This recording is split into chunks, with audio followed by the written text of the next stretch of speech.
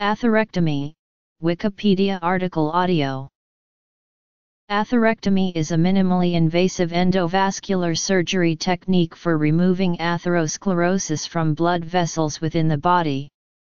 It is an alternative to angioplasty for the treatment of peripheral artery disease, but the studies that exist are not adequate to determine if it is superior to angioplasty.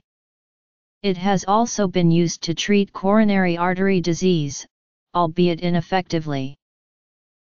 Atherectomy is used to treat narrowing in arteries caused by peripheral artery disease.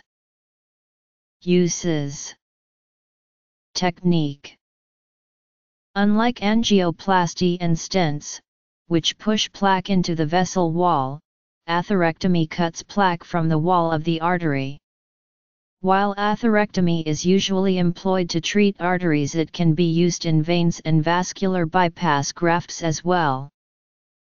Atherectomy falls under the general category of percutaneous revascularization, which implies recanalizing blocked vasculature via a needle puncture in the skin. The most common access point is near the groin through the common femoral artery.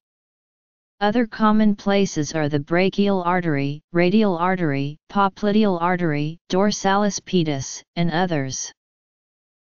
There are four types of atherectomy devices, orbital, rotational, laser, and directional. The decision to use which type of device is made by the interventionist, based on a number of factors. They include the type of lesion being treated, the physician's experience with each device, an interpretation of the device's risks and effectiveness, based on a review of the medical literature.